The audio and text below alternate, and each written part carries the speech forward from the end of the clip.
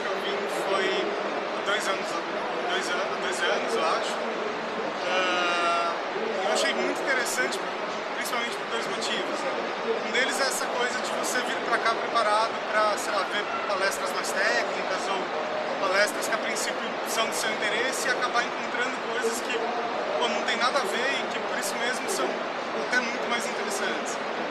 Então hoje mesmo eu tinha aqui anotado um monte de coisas na minha programação e aí de repente depois do almoço eu estava passando ali na, na, arena de astronomia e tinha um cara falando de ufologia. Você não consegui não assistir, né? E acabei deixando um monte de coisa para trás.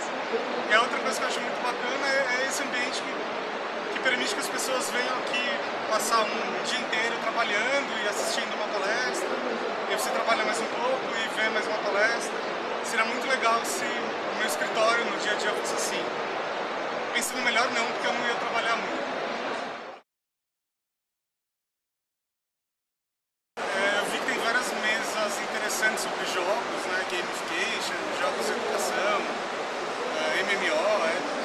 Assim, eu vim pra cá hoje basicamente por causa disso. É, achei bem interessante a, a, parte de ciência tá ligado à astronomia e, e, física. Enfim, sempre acaba focando uma outra coisa interessante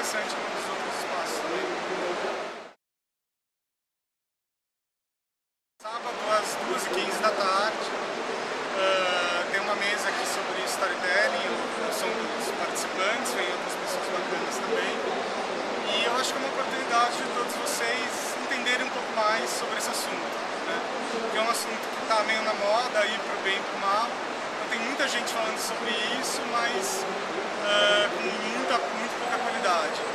Né? Então as pessoas que vão estar aqui participando entendem do assunto e eu acho que é uma oportunidade de todo mundo saber exatamente para que serve e como é que você pode usar isso para sua vida profissional e, sei lá.